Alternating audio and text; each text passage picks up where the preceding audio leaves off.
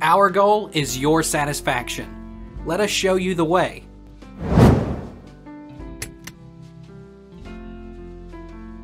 Do you need a license to drive a forklift in Ontario? In Ontario, you don't need a forklift license, but you do need forklift training to become certified to operate a forklift or reach truck, and comply with specific Ontario Health and Safety Act guidelines. What happens in forklift training? A typical beginner's course usually starts with sessions on safety and regulations. This is aimed at getting learners up to speed with legal, health and safety factors as well as the relevant aspects of being a forklift truck operator. You'll also have to learn how to load a forklift safely. How long is a forklift license valid for?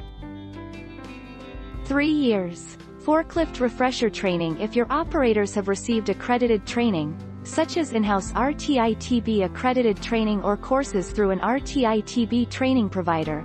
You should also ensure that they renew their qualification at least every three years with a refresher training course.